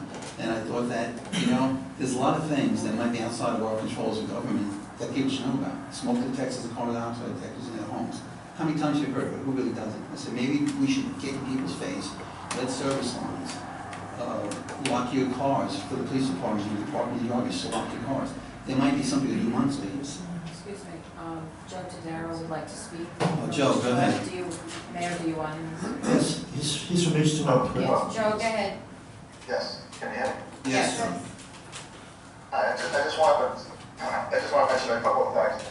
You know, the federal funding, so supposedly there's, related to the, the new lead and copper rule, there's gonna be a lot of fund for, for lead line replacements. Uh, it's part of the reason why, uh, my discussions with Ralph were to try and get out ahead of the regulation, to to identify the lead lines and, and get the first parts of the requirements down, so that if funding does come out, you're, you're well in advance of, of a lot of people, and, uh, the, the funding would be easier to get because you have stuff in place already. So, I don't know how much money is coming down the line, but hopefully it's supposed to be a lot, now, you know, how it's getting, how it's getting sorted out and distributed to the states is another story. And Joe, Joe, just to, just to expand on that, from our conversations with the county and with you, it's not just identifying the lead service lines, we have to take an inventory of all these service lines in the community, not just identify one type of line, brass lines, copper lines, right, the whole inventory. The first step is to inventory all the service lines, right? And then once, once you know that, then you move on to, to, to uh, an evaluation of, of the lines and whether they, they should be replaced, know, and, and other things. And, and the copper, uh, certain, they changed the rules for requiring a, a corrosion control study, which is not required right now. If you have under fifty thousand population, and depending on what your action levels you hit, and, I mean, it's, it's, I don't wanna get too deep into that, but, but, but right now, corrosion control study is not required, but as, you mentioned, that we were gonna do one, uh, anyway, just in case, just to look at the pH in the the water, to see how it's affecting the lead of the lines. I will say that the AOP, from all our performance testing and all the pilot testing, uh, has no, has really no effect on inorganics, no pH, alkalinity, uh, really most of the, the, the major corrosion, corrosion parameters, uh, AOP really doesn't have any influence on that, doesn't change the, the properties of that. What, And and just, what would prevent us from starting that, that survey of the lines? Anything? They're, they're identifying, because it's, it's, the survey sounds like, okay, the yellow copper line, the brass line. The idea is to understand what the requirements are, because when we do a survey, they might need four pieces of information from the household, I don't know. Right, right, right. So we're trying to identify what the, I've asked for the guidelines, I asked the county for the guidelines, they said all they have is PowerPoints. Joe's team has the guidelines and they dissected them and understand them, so he's sending me not only the guidelines, but what the specifics are about that survey. So we, that's all, I was going to the board and asking for money for, because the survey, do I hire a third-party company to knock on everyone's home, like we do when we change water meters? Yeah. I don't want to rely on the homeowners to go downstairs like Glen Cove and scrape it with a, a penknife and size it lead. I want to have an expert, a plumber or some team And what's the timeline usually, Joe, on a, on like a full survey? Like, How long does that usually take? Uh, well, to be honest with you, we haven't done it yet, so. uh, You've never done a, a, a village-wide survey like that? Survey of- of services, Yeah. not, not, it had been done in the late eighties when they first went in, but. I, I don't uh, mean in Garden City, I mean ever, anywhere. Yeah, not, not too many, to be honest. I mean, I, I haven't done one. But it shouldn't take, you know, once you get a system in place to go out, it shouldn't take that long. It's, it's just a function of how many houses. uh, You can do that. Access And to the then- house, And uh, Mr. Roberts, Jim Roberts, did send me um, a, a letter a couple weeks ago about how such a survey would be conducted. So, you know, we're trying to gather the pieces. But we have some momentum here. I don't have all the answers tonight, I'm sorry. Sure, no, no, I, I don't, if you had all the answers, it would be a much quicker I conversation. know, I know. Uh, so we can agree though, we're gonna post something, but also have a, have a. If we believe the first step to identifying the issues and also along the way, it's a good thing to have, should funds come down the road as a survey. Do we, do we start aligning ourselves on, on thinking about a village-wide survey? Yes, that's, what- that's what we're planning to put together to come to the board with. I don't have it for tonight. No, no, no, no. So you could, you could, But that's what you wanted. if, if the board, if the board feels it's appropriate thing to do this evening rather than wait some night, if you could award some amount of money for me to, uh, of course, clear with you before I do anything, but to pre-authorize it now. Uh, Joe, what do you think a survey would cost? You- Could you guys give me a a order of magnitude number of what it might cost to do a- a 7,400 home survey, plus businesses too? you have, to- there- there'd be the amount of time it takes to go into a house, how many you can do. I mean, if you go by the water meters, when they install the water meters, you know, the, the meter installer, they have to make appointments to go to everybody's house. No, I know, that was, that was a million dollar project. And, and, and But, how long did well, that, meters cost a little more, but now it's just labor really, It's- it has, there's no, there's no cost to it. how long did it take to replace the meters? The meters, uh, back in 2016, it probably took all summer because people would cancel appointments and, Yeah. and some people had, uh, they had service lines that were not good to be run touch and they had to fix them. So, Yeah, I remember, my house was wrong. Yeah, it was drawn out, but I, I, it was really a matter of, because you have 7,500 homes and businesses, so it took a while. It was probably a six or nine month project all, all. But I think this is a little quicker, we're not changing meters, Yeah. uh, and I think, uh, you know, We certainly could put the information out and, and people should start test kitting now, and call their plumber. yeah, well, the, As an, in an, as an immediate step. Yeah, so if, if, so let's say, let's say a person sitting in the audience here tonight calls the state on the loan, gets a kit sent to them and tests, okay, have lead. Uh, what, so now the next step is you have a list, you know, call the county and is the county gonna go in and test now, or they, or they, and I've been asked the county this, I said, so these hundred people who tested and twenty-five who have high levels of lead, what happens now? You guys gonna test? Are you expecting me to test? Are you expecting the homeowner to? You know, so they haven't clarified that for me. If I had the answers, I'd be already doing it, and you would have known about it already. You should know also that after I called H2M on, on the twentieth, authorizing the test of my water, I, I wrote a full email to the board identifying my conversation with the mother, so I've kept everyone involved. The thing is, to just say to the community there's a lead problem out there and not be able to describe the parameters of the facts is a very scary thing for, for anyone, because I don't have, like, I don't have the answers here. All the information about your home, even about your medical condition, that was told me, everything I know doesn't help me solve your problem right now. So to open it up to twenty-two thousand people in seventy-five hundred homes, based on no facts, is a very, uh, I think, I think our concern came where we retested and we reproduced results four times, and then we also were made aware of other homes in the neighborhood that had high lead, and we brought that to the village's attention, that we received a letter stating that, you know, we've complied with everything the county and the state have asked us to do without a further action plan. Yes, We sir. just want timelines and an action plan. So by the way, uh, the only, the only part of the compilation of that letter was because when we conducted the test on November fourth, and we found lead as the county did, as a water supplier, I am required by law to give you that form letter with all the details. That was the requirements piece. Nobody else has asked us to do anything. That was directed by the existing law. The county's not asked us to do anything today. Everything we're doing and researching and discussing here tonight has been our own initiative as a water department and as consultants on behalf of the board and residents of this village. So we're waiting for the county to tell us, I'd, I'd love them to say, here's the smoking gun.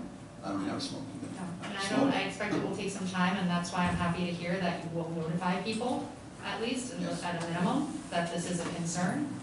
Um, even if it's only for twenty-five percent of the town, twenty-five percent is a lot of families, it's a lot of children, it's a lot of, it's a lot of people who are affected by this. So, yeah, it's not a bad water, twenty-five percent, And so. it's, And please it's keep not- us update, I just wanna let you know. update on, on, you know, what you guys find, and, you know, I'm sure any information you guys come up with can help other people. Mrs. Ariel, on my way home that night, I had tears in my eyes. I called my niece, who's a pediatrician at the child.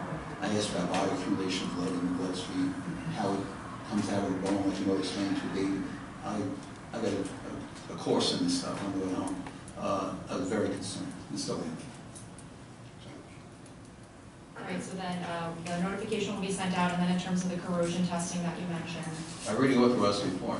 okay, so when, when can we expect I don't know how long it takes. We've been doing, we've been testing pH alkalinity every, since October fifth, every week, because we had a blue water condition that we were hearing about, and we were trying to understand the dynamics of that. It's only coming out of one building, and so we largely thought it was building specific, because we can't replicate it anywhere else. Um, so, um, that report is still pending, but we're still, every time, I put a special email address out there for all water issues, uh, for brown, blue water, and I've gotten like three blue water complaints in the last seven weeks. Both of them were filled bathtubs, and one was ice cubes I got yesterday, two ice cubes out of a whole train. I don't know what's going on, it's, in- it's, it's, uh, it's, it's a hard problem to solve because it's not consistent. It's not predictable, so it's, we're chasing all these different goals. Are they related, I don't, I don't know, Yeah, I think that's the value in hiring a consultant. yeah, so. I appreciate, I, I did speak to both of you and I- and your mom multiple times, so I want to let you know, we'll do whatever we have to do and we can do. Thank you.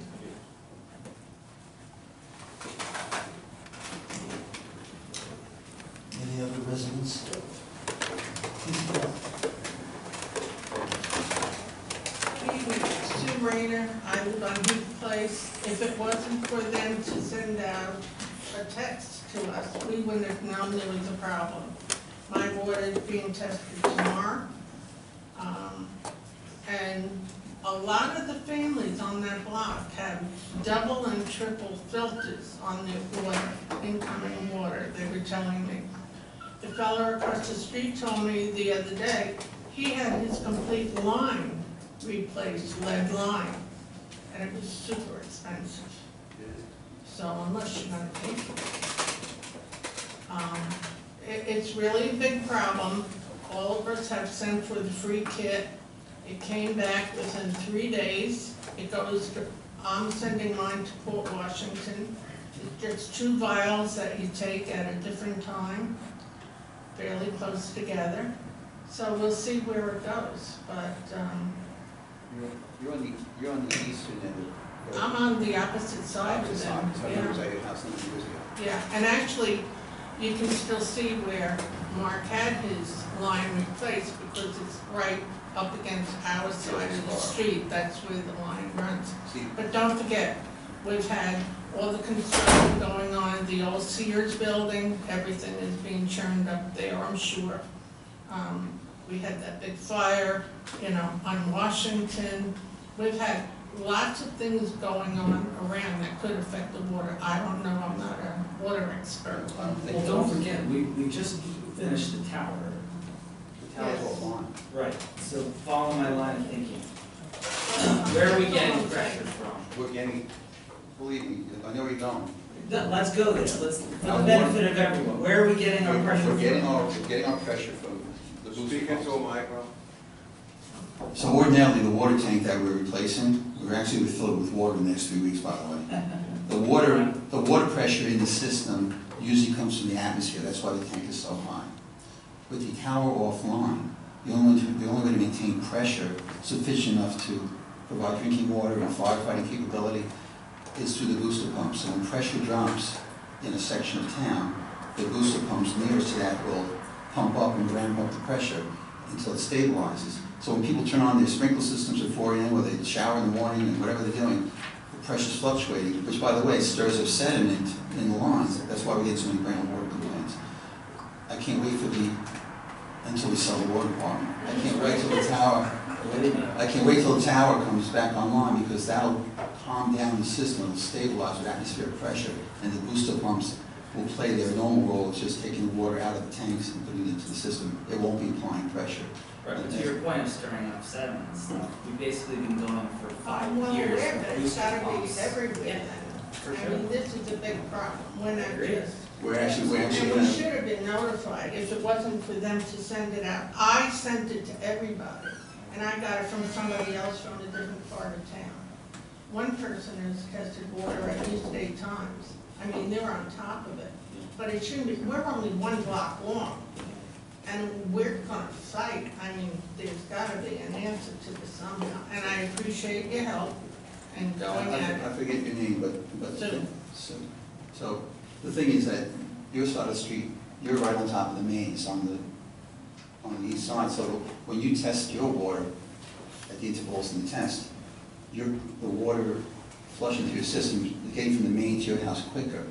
I'm not sure if the test is sufficient. When they test their water on the other side of the street, they need a lot more time to get to my main to test the main. So the more the water they're testing is in the service line in the house plumbing, which is exposed to solder and the lead. So these, so that's why each house is different. That's why the test, the tests tell you there's a problem, but they tell you where it is. And that's, that's what we're gonna experience. But it might be in the piping, because I had lots of copper, all my heating system and everything. No, no, it's- it's a copper. I have had pinholes galore, and it's all being And replaced. I I think Mr. and Mrs. Ariello also said that the pipes, the pipes get coating inside over the years, like like a patina. Right. And that's where they're indicating the pH could play a, a role, a negative role. But that's, that's, uh, that's another thing, that there's protections that occur in the way the plan works. Well, thank you, thank you all. Any other comments on non-agenda items? Hi, Please state your name. She muted?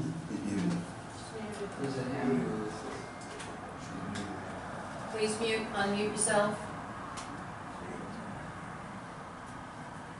Please unmute yourself. I'm unmuted now, sorry. Okay, thank you. It wasn't allowed to unmute. Thank you. Hi, my name is Stephanie Reeves. Um, I live on one oh seven Mead Brook Road in the estate section. Um, we're joining, joining tonight's board approve meeting because we actually know Mary Ellen, um, previously, but we saw her post on, uh, the City Moms and Dads group and immediately were, um, you know, impacted by the fact that someone else that we know has been impacted by lead in this city. So we haven't reached out to the city specifically, but we recently, earlier this year, were in contact with the county about our son having lead poisoning. Um, at his first birthday, um, timeframe, they did the test and he registered positive. We immediately moved him, removed him from the house. I moved back home with my son to my parents' home in Chicago for five months during an extensive renovation on our house. Um, multiple tests run, again, by third parties as well as the county. Um, and basically, uh, at the time, we felt, or multiple tests came back and said that it was dust related. However, we just had another third party come back in and test our water based on the results that we've been seeing with Ellen, as well as multiple comments that came through on the, the post that she made out to the Garden City Moms and Dads group. So we just wanted to kind of join in on this and help raise awareness and make sure that it is being addressed in the town because what we went through this year with my son, you know, there are a lot of old homes in this town, but we also want to make sure that it isn't a larger city issue. Thank you. Thank Any other comments? We have Bob again? Come on. Bob? Yeah, good evening. I, I had uh, the issue with my water at one time too. Uh, I had a plumber come in, the, the first one I threw out, because he didn't know what I was talking about. He came in, he said, I'd, I'd like to replace that lead line that you have going to the street. And I went down, and the, the main line comes to the house, I took a piece of sandpaper, just rubbed it over, over the pipe, and it turned out to be a nice copper color, a nice uh, towel. But eventually I did have a line change, and one thing that I didn't realize that he told me is that lines under the ground are attacked by electrolysis. When you get these small pinholes in, in the line and everything else, that's true electrolysis. That's what's causing the little hole. By the time I had my line pulled out, uh, I had it from my house to the street.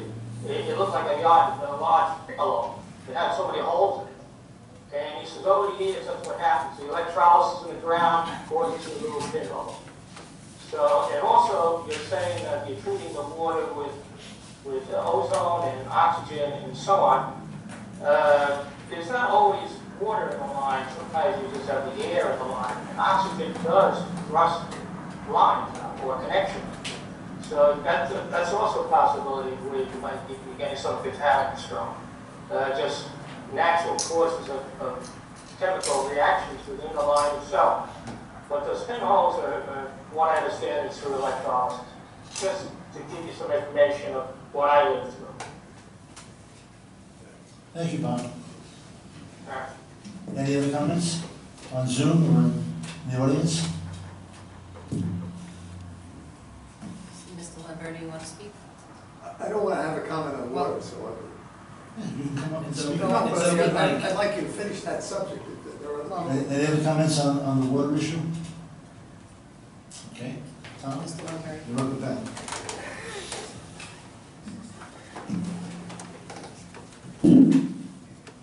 I have a simple issue. Uh, So I, uh, to take us back, uh, we know the board is now amending, repealing a particular statute of the building code which imposes uh, penalty fees on existing uh, permit holders uh, who seek to legalize work. So I- that process has been made clear to me. I think it's clear that it does not apply to residents who seek permits to install new air conditioning units. And I'm such an applicant, so I'm seeking to get a permit to install a new air conditioning unit and pay the fees. I recently went to the building superintendent and asked him if I, he would issue me such a permit in light of all the discussions that we've had and the, and the revisions that's supposed to take place with this particular section of the code which applies to existing permit holders, and he told me he could not, so that I would have to pay a penalty fee of two thousand dollars. Now, we've had all the discussions about this, so I would like the mayor to take some action to have a resident like myself obtain a building permit, which clearly I'm entitled to. So here I am. I'd like to get it done before the winter sets in, otherwise I I don't know where I am to go. I, I, I think. Tom, I've, I've asked the building superintendent to look into this, he's done anything? Sorry? I've I'm asked the building, a little su- deaf. I've asked the building superintendent to look into this, and he's done a very thorough analysis. Giuseppe, do you want to make a comment about this? If necessary, if you? Mayor, as per the board's request, um, as the emails I've sent over to all of uh, the board and yourself, as far as the uh, research uh, that we've done, um, you know, my team and I have done an extensive, I mean extensive research, 67 municipalities, um, as far as their um, fees and their requirements, what they ask for applications. Um, 67, uh, 20, 20, uh, with those, um, with the, with that review, 23 out of the 67 are two times the fee. 16 out of the 67 are three times the fee, like the Village of Garden City, so we're about 24% of that. Um, there's one village that's four times the fee. There's seven, seven out of the, uh, 67 that have no fee but are in speaking about doing a fee because there, there is such a thing that they're requiring. So they're, they're looking into, into doing that. Uh, They haven't set forth a number, but they're looking to do, if not two, at least three times the fee, depending on um, what, what they choose to do on that. Uh, 20 out of the 67 are various fees. Now, various fees mean they're, they're different percentages. On some occasions, they're more than three times the fee if you do the mathematics on, on a, a cost per construction, uh, per project. So, uh, that's, This that's this is all residential work? it's, it's all residential work, yeah. Um, some villages charge more for construction, some, uh, for con- commercial, some are equal. But the question I think Mr. Lamberti just posed is, is how does he get a building permit based on this situation? Ms. Lamberti has to file for a mechanical and electrical permit and pay three times the fee because he doesn't have the benefit of a building permit.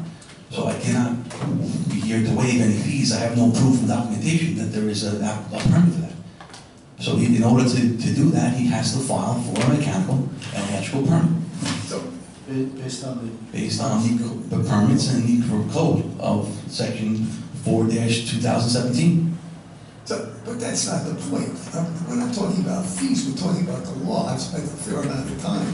I understand. You read, you read the statute, it says every existing permit, every permit holder who seeks to legalize work has to comply with this penalty clause or whatever. We've discussed, We discussed the concept of a So- permit so- so the Yes, law- we've, we've done that. I understand that, but the point is, I'm not interested, the law says it doesn't apply to me.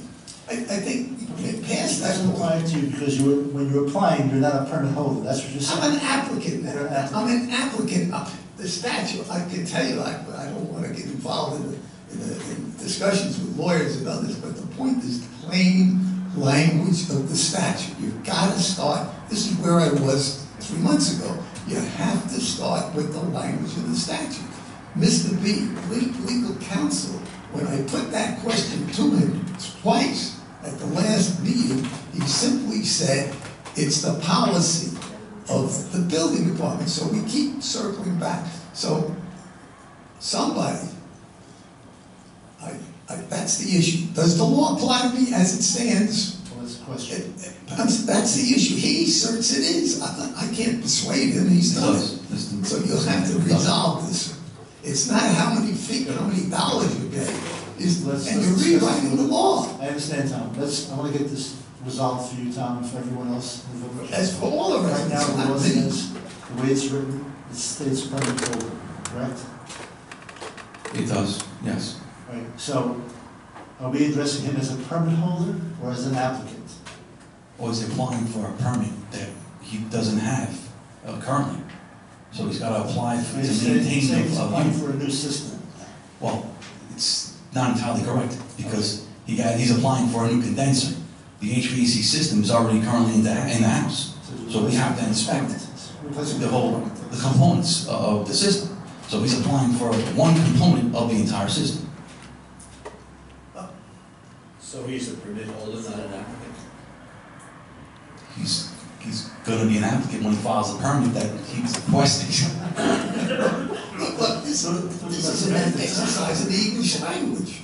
If, if you, if. I understand perfectly. Peter, do you want to discuss the idea of a permit holder versus an applicant? Otherwise, we're, we're gonna be here all night. Well, language controls.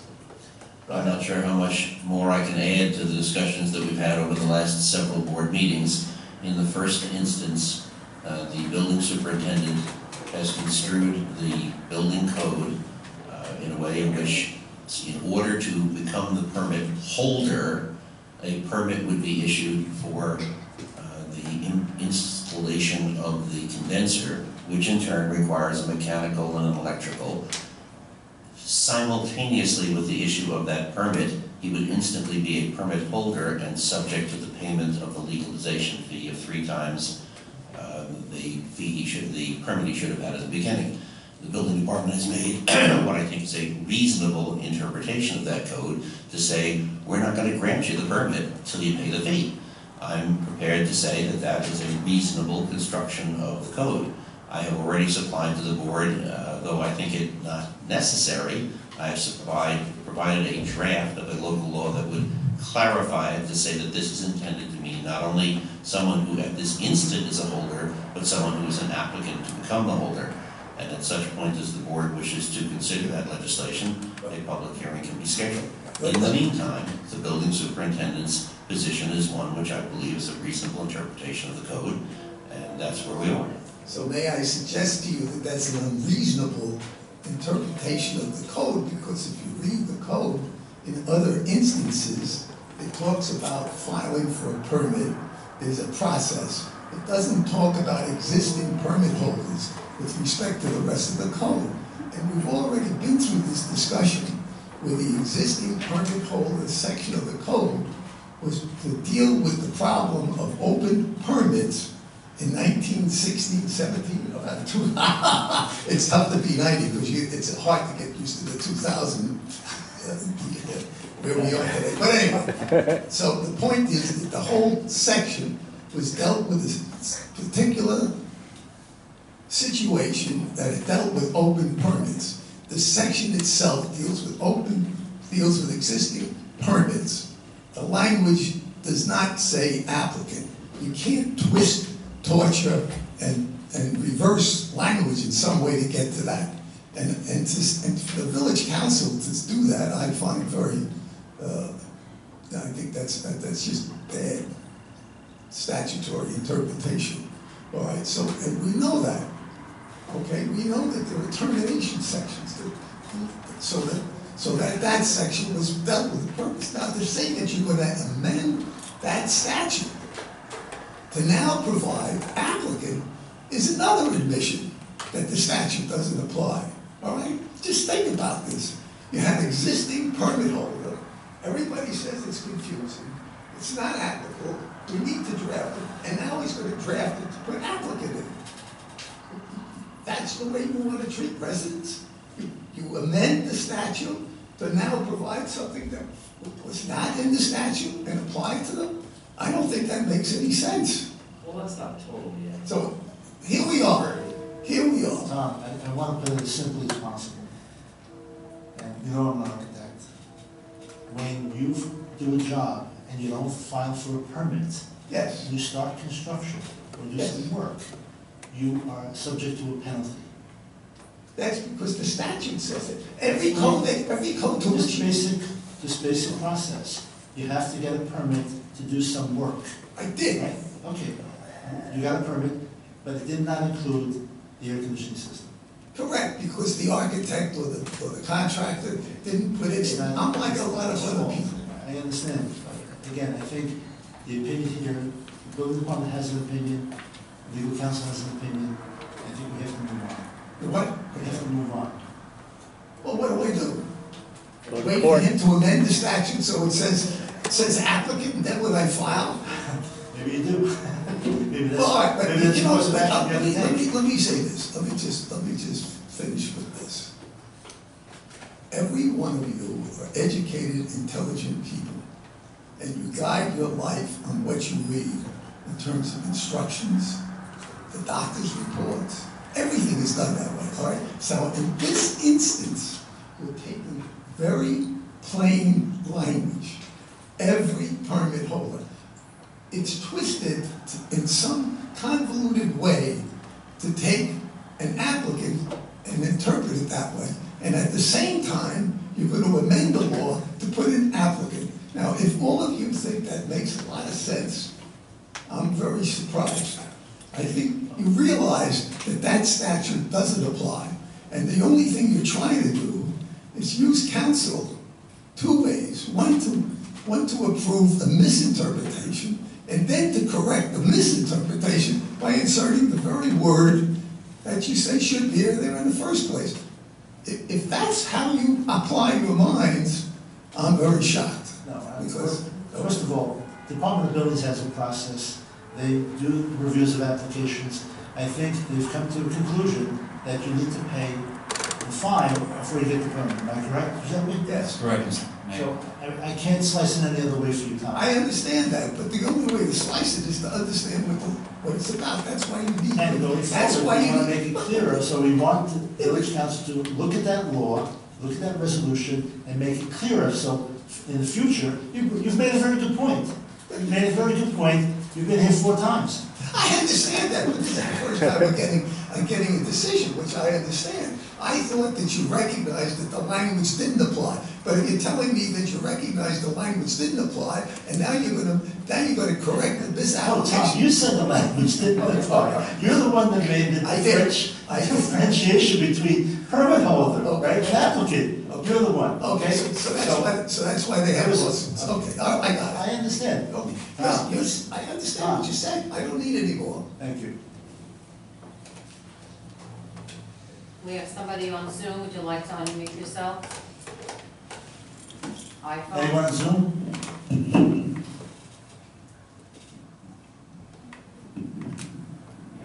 Yes, it's Steve Alardi, 39 Meadow Street.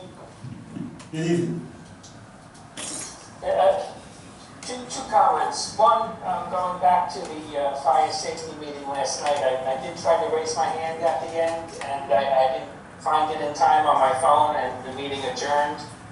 But there was discussion about having a training building within the village, and an advantage to that would be that surrounding fire departments could train with us, and we could all have the same type of training and work together.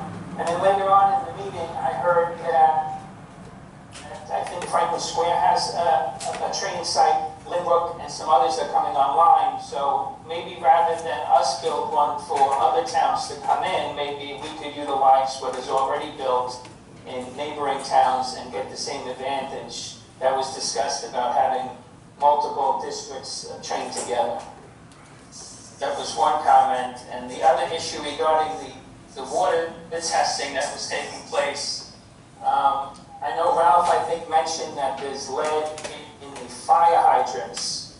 But is there any place that the water could be tested near someone's home prior to it going into the line that goes into the house? So is there an access point in the water main that could be tested where you can see what is the condition of the water in the middle of the street before it goes into a homeowner's line? Uh, So Steve, so first of all, I just want to make sure people understand that um, the fire hydrant is a, is a valve. It's, it doesn't have water in it, it has a valve that when opened up, water comes from the main and rushes out. The newer hydrants don't have um, the brass components that contain lead. And I talked to the health department, they actually believe that if you were to test the hydrants, any lead in there would flush out immediately because of the volume of water, so, so that might be a testing point, because the only, the only place I have is the input, and the only output I have are the faucets in the home and the hydrant system that are close to the areas. Um, So that's, I think that answers your question. Chief, do you want to speak about the training facility?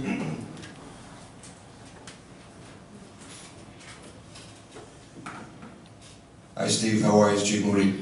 Um, the training facility was, you know, proposed for the volunteer members for Garden City due to the lack of uh, the buildings that we have now.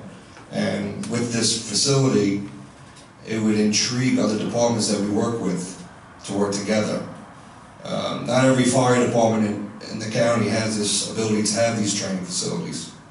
Um, it's going to be a huge asset for the village fire department to increase our training and to entice people and other people that we work with on a day-to-day basis to come and learn and work together. Chief Rudy, could you fill Steve in and the residents, uh, the training facility at the water building and what happened when you were training? So currently, the fire department, we train at the old incinerator building located in the village yard.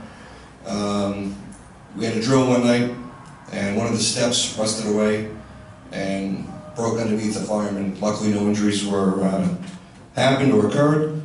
But at this time, this building is condemned at the moment until we get a new staircase.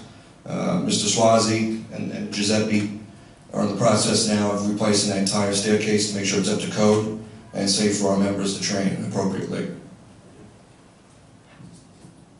Thank you. Any other questions?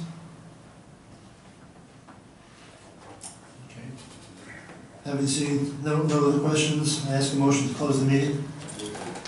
I second. We're to go the executive session. Rob, Karen? Karen, are we going to the executive session after this? Do you want to? No? Okay. I think that. Wasn't, we were discussing a personnel matter. Yeah, it was a personal matter. the candidates that, uh, We're gonna do a personnel matter tonight, you guys. yeah, yeah. I'll take that long. No, executive session, thank you. So, a motion, Go into the, I'll put the matter for executive session. yeah. Move, seconded, all in favor? Aye.